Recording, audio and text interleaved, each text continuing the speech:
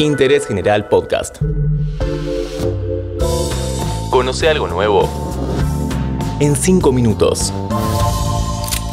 Calibre 22. Bienvenidos a este podcast de interés general sobre crímenes y misterios sin resolver. En 2006 apareció el cuerpo sin vida de una pequeña de 8 años en el patio de una casa del conurbano bonaerense. ¿Quién fue capaz de cometer este horrible asesinato? ¿Cómo ocultó el cuerpo a menos de 50 metros de la familia? Hoy contamos la historia del asesinato de Evelyn Ferreira.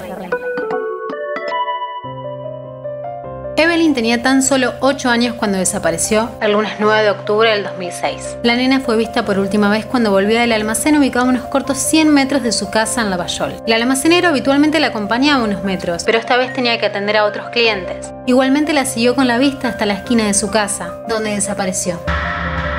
La pequeña vivía con sus abuelos, Marta Elsa Bartolomé y Segundo Ferreira, desde el 2005, tras la muerte de sus padres en un accidente. Tres años después, se sabría que al girar la esquina, Evelyn pasó caminando por la puerta de Juan Sebastián Sabielevich. El hombre la agarró y la metió dentro de su terreno. El captor intentó abusar sexualmente de ella, pero no lo logró. Ante el intento frustrado, la golpeó y la enterró aún viva. Cuando Marta notó que su nieta no volvía a la casa, llamó a la policía. Rápidamente unos 50 policías con perros y agentes del grupo de apoyo departamental, a cargo del inspector Roberto Castronuovo, iniciaron la búsqueda de Evelyn en descampados y arroyos de la zona. El rastrillaje se suspendió al caer la noche y continuó al día siguiente. El martes se sumaron 100 efectivos policiales en la búsqueda. Nada pasó. A medida que pasaban los días, más y más gente se incorporaba a los grupos de búsqueda. Tiempo después, con los culpables ya detenidos, los vecinos señalaron que los captores participaron de los rastrillajes en los bosques de la zona, la ribera del río Matanza y el predio descampado existente detrás de la Universidad de Lomas. El juzgado ordenó 40 allanamientos pedidos por el fiscal a cargo de la investigación. La idea surgió a raíz de hechos similares, donde niñas desaparecidas fueron encontradas en viviendas cercanas. Finalmente, el 30 de octubre del 2006, los efectivos de seguridad encontraron el cuerpo sin vida de Evelyn. La policía había sido alertada por un denunciante anónimo. Evelyn fue encontrada en el patio de una casa ubicada en la calle de Anfunes al 300, enterrada debajo de una parrilla en un terreno con dos casas. Fueron detenidos sus cuatro habitantes, Juan Sebastián Sabilevich, su novia María Gisela Lanis, su padre Armando Sabilevich y la pareja Vicenta Tapia.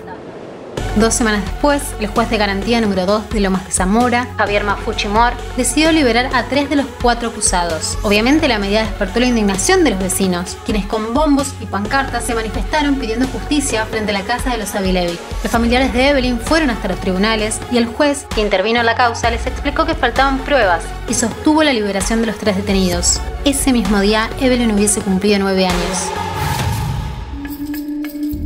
Tres años después, en 2009, el asesino fue llevado a juicio. El acusado contó su versión. Dijo que le ofreció a Evelyn comer una milanesa. La invitó a su casa, vio que comenzó a sentirse mal y él trató de ayudarla. Pero al tocarla ella cayó al piso. Según él, intentó todo para reanimarla, pero la pequeña no respondía.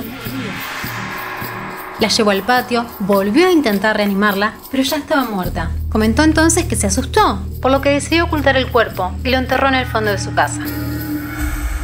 Los peritajes de los forenses desmintieron esta versión. Evelyn había sido golpeada, ahorcada y enterrada con vida. Esto se supo porque se halló tierra en sus vías respiratorias. Con todo esto, el fiscal Andrés Santos Procomio reclamó a los jueces la pena de prisión perpetua para Juan Sebastián Sabilevich. Los demás familiares, María Gisela Lanis, Armando Sabilevich y Vicenta Tapia, quedaron en libertad, a pesar de lo llamativo que resulta que no hayan sospechado absolutamente nada durante los 21 días de búsqueda. Marta Bartolomé salió al juzgado con una sensación de angustia mezclada con felicidad. Esto no va a quedar así. Siento que solo se hizo justicia en parte, le dijo a los medios de comunicación. Estoy segura que los familiares estuvieron involucrados. No puede ser que nadie se haya dado cuenta. Al día de hoy, a pesar que algunos vecinos aseguraron haber visto a Armando Sabielevich entrando materiales para tapar el pozo donde fue enterrada Evelyn, la familia del único detenido goza de libertad y la causa se encuentra cerrada. Hoy, en Interés General, te contamos la historia del asesinato de Evelyn Ferreira. Interés General Podcast. Encontrarnos en Spotify, en Instagram y en interésgeneral.com.ar.